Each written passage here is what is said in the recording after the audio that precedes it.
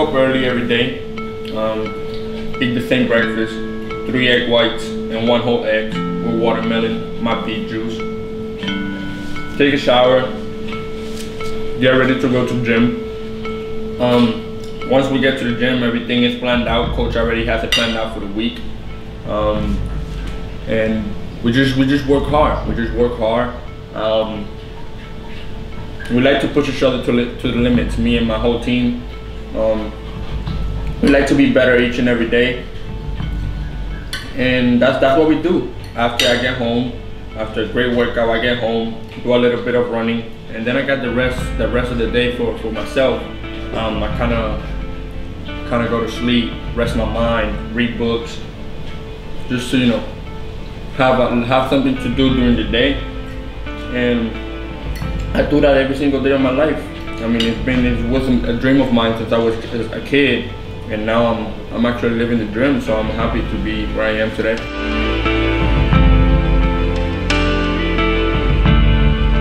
The team is always, you know, it's, it's, it's something that everybody has to put their effort in, and I think my family is a big part of that because they help me through through everything I go through. I mean, I'm, I'm a 17 year old kid, and they've always been there for me. So any question I have, anything I I don't know what to do, you know, with, with it, they, they help me out and really grateful for, for to have that type of that type of parents. I've grown a lot, not just as as high in, in weight, as I've grown as a as a fighter, as a as a man.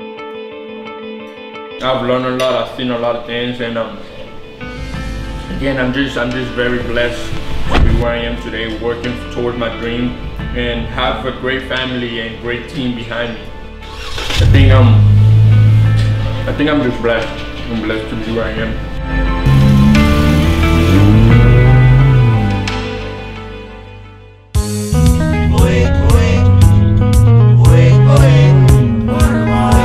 On the way to the gym, about to get some workout in, getting ready for September 4th. Man, I'm happy, grateful, and ready to put on the show.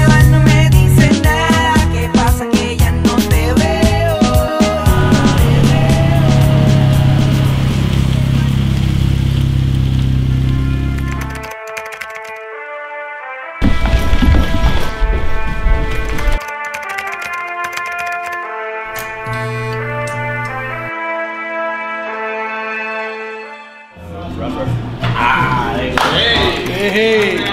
there we go, there we go. Uh, the X is my cortadito. Pan cubano. Thank you. Okay. Yes, sir. I also have a cortadito in there. What's up, bro? 2016, all the pictures are around 2016, 17, all of them. Man, it's been a long journey, but we're making it happen, making it happen. Happy, team is good, and um, just happy to be where I am, bro. Just happy to be where I am.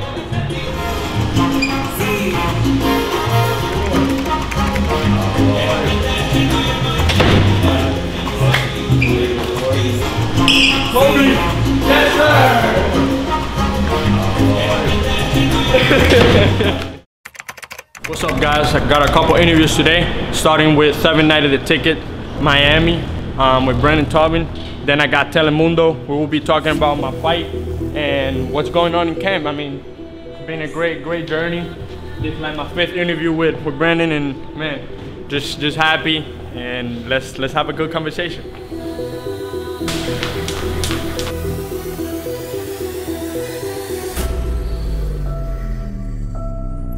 Fue ayer que estábamos sentados en este mismo gimnasio con una de las promesas más grandes del boxeo en Puerto Rico, Sander Sayas. En ese momento firmaba como el boxeador más joven, firma Top Rank, valga la redundancia, y ahora lo tenemos aquí.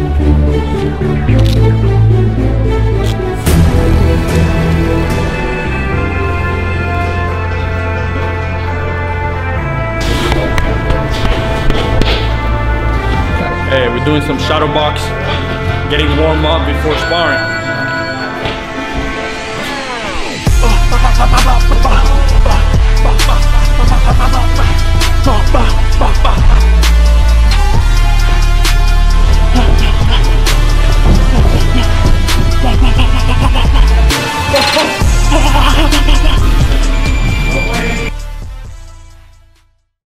You know, quite a lot has changed in terms of his height, his weight, uh, his fighting style. You know, he was he was always small for his weight class, so he was kind of that aggressive little boxer that was just going to be on you all the time.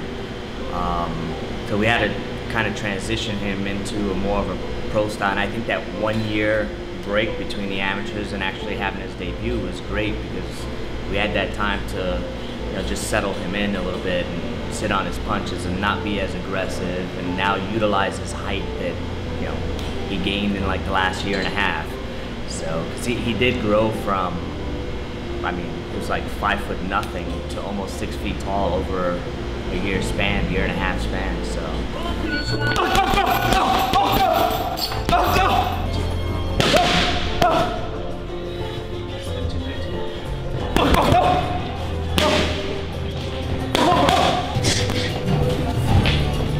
Well, it's exciting, you know, um, having your first fighter signed with, uh, you know, with a big promotional company like Top Rank, and and knowing that, you know, he's been with me, you know, throughout the whole, you know, the whole track, which was nice. Um, you know, we're looking forward to, you know, what Top Rank has in store for him, and and you know, just seeing what what comes out of it. Um, you know, he's going to be a world champion, definitely, but you know, I want to, you know, taking that roller coaster ride is going to be nice.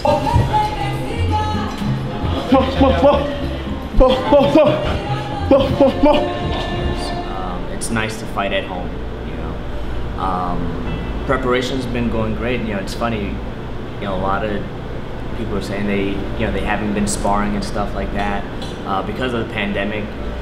I think this camp Xander's had the most sparring. so, um, in terms of preparation, he's, you know, he's ready to go. Um, you know, we've done everything you know, up to this point correctly. He's weight's fine. Um, and he's gonna do great. He's gonna do great.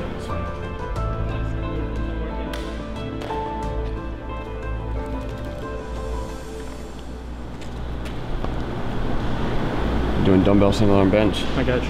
rotational presses, Yes, sir. and we'll hit the incline press there. All right. All right? Yes, sir. What we got for warm up?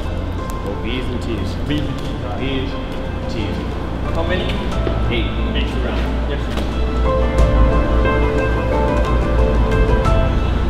Uh, I'm Pedro, I'm the strength and conditioning coach. Been working with Bommarito's for about 15 years. Been working with Xander for about three years now. Xander started off in our youth program, uh, coming down in the afternoons, and slowly he transitioned into the pros. And in the small two years he's been really focused on the professional side of things. He's actually developed as far as his strength increased, his footwork has gotten better, his speed and overall endurance has gotten better as well.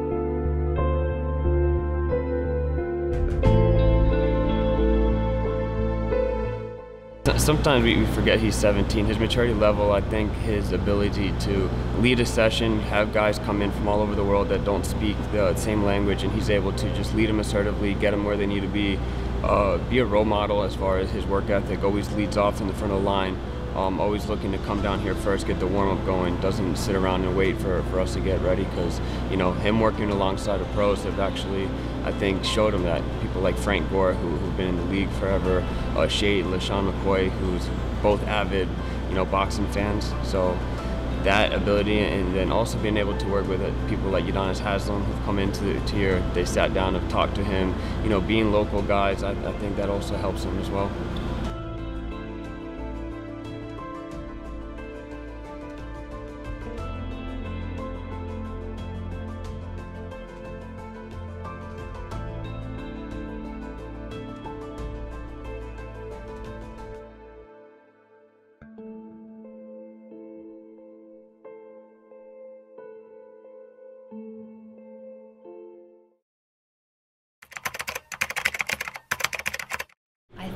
Met Xander when he was about, I don't know, either 12, 12, uh, 12 or 13, I think. And uh, I was taller than him, and I'm like 5'2. So now he's ginormous. He's just, uh, and just what a great kid. He's really developed extremely well, and just watching his progress physically has been amazing to observe. Uh, sometimes we have to deal with some foot issues with him. Just, just so much bouncing and a lot, so much uh, ankle and footwork that the boxers do that we tend to have to work on that a little bit. And as he's grown, there's been a couple little things I think were kind of growth related because he grew drastically. I mean, he just shot up a lot, and that could throw your performance off a little bit because all of a sudden you have different limb lengths. You're you're not used to dealing with that type of um, muscle growth, uh, or the bones grow faster than the muscles, and you have to balance it out. And we kind of help with that. If you look now, he's got the motion that he didn't have before, and what we did was just activate the muscles that actually do that job instead of releasing it Yeah. with the stretch. We got them to work a little better. So now go ahead and stand up and check that position. Oh yeah, less, less. It feels smoother now when I rotate. Your hip feels a little easier. Yes, yes. Yeah. and it feels like in balance, you know, like it feels like I'm rotating and I'm in there, I'm sitting Yeah. there, so Nice.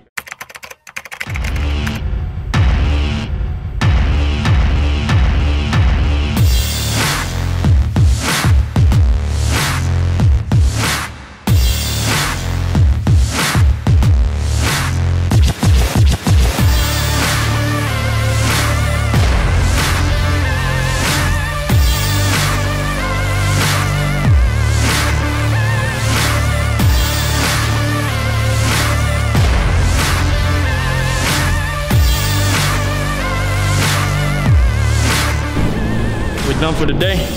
Now ready to go home, eat something, get some sleep.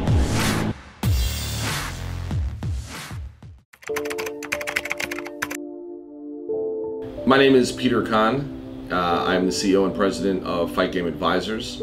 I am the manager for Xander Zayas, and I've been working with Xander now uh, just over two years. Um, the last year of his amateur career, we sat down and made the decision that he was going to turn pro. Uh, it's been a great journey so far, from getting him signed to top rank as the youngest fighter ever at 16 years old and uh, watching him begin that journey, making his pro debut in October of 2019. Uh, he's now 4 and 0 with three KOs as we enter uh, September 4th, the eve of his 18th birthday, um, where he will be fighting his fifth fight, which will, this time will be in Kissimmee, Florida, uh, on Telemundo, and also happens to be uh, the first fight um, since the pandemic, uh, and his second fight, his third fight of 2020.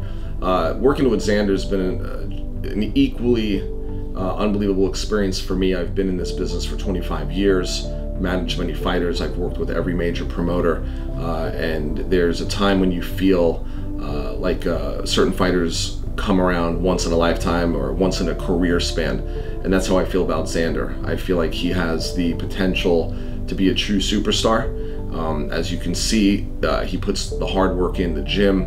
Uh, we have a great team, uh, unbelievable support system with his parents, with Orlando and Yaitza, his sister Ariana, uh, his coach Javier Centeno. I've known Javier for 20 years, uh, and he's the one that opened the door.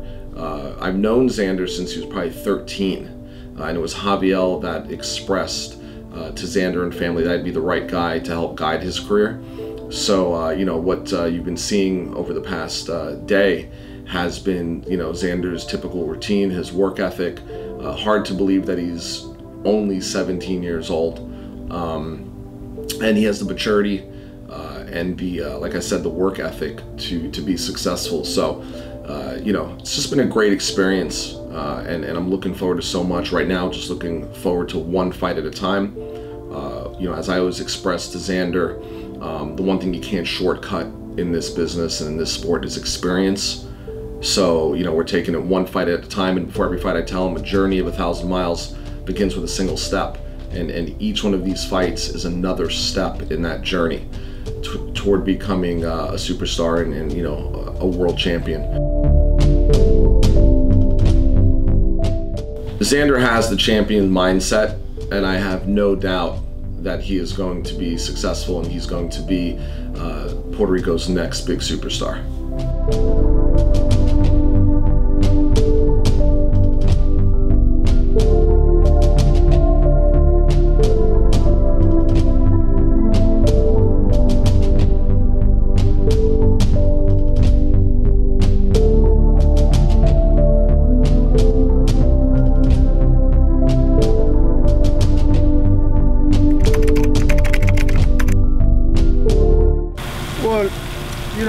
Everybody in Puerto Rico calls me that. They call me Cuba. So, you know, it was used for him to call me like that. He also called me dad sometimes. It, it depends on what the mood is.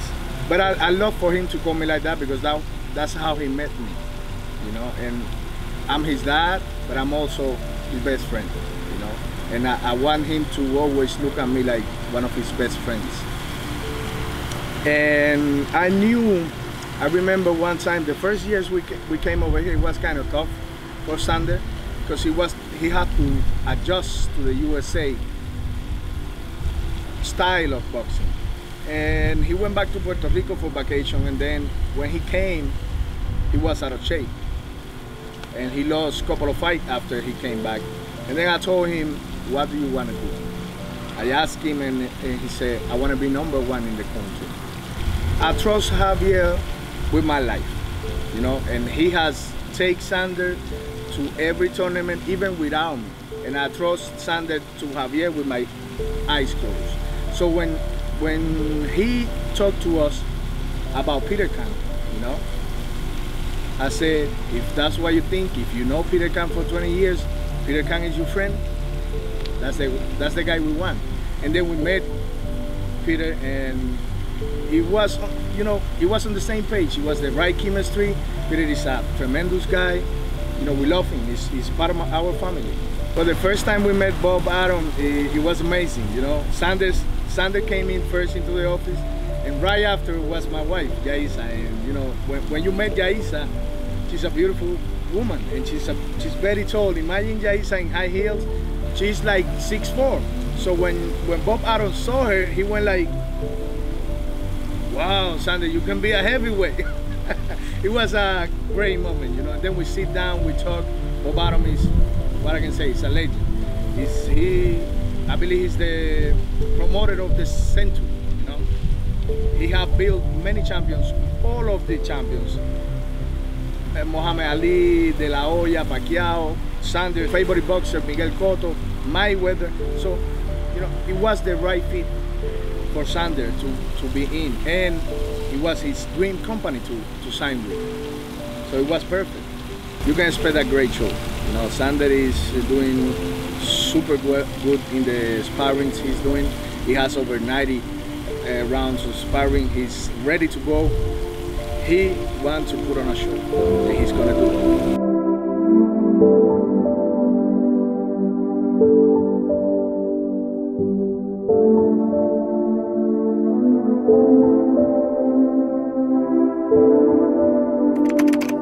Almost 8 p.m. It's been a great work, great day. Getting ready for tomorrow, do the same thing. And thank you for joining me in Xanders Fight Life.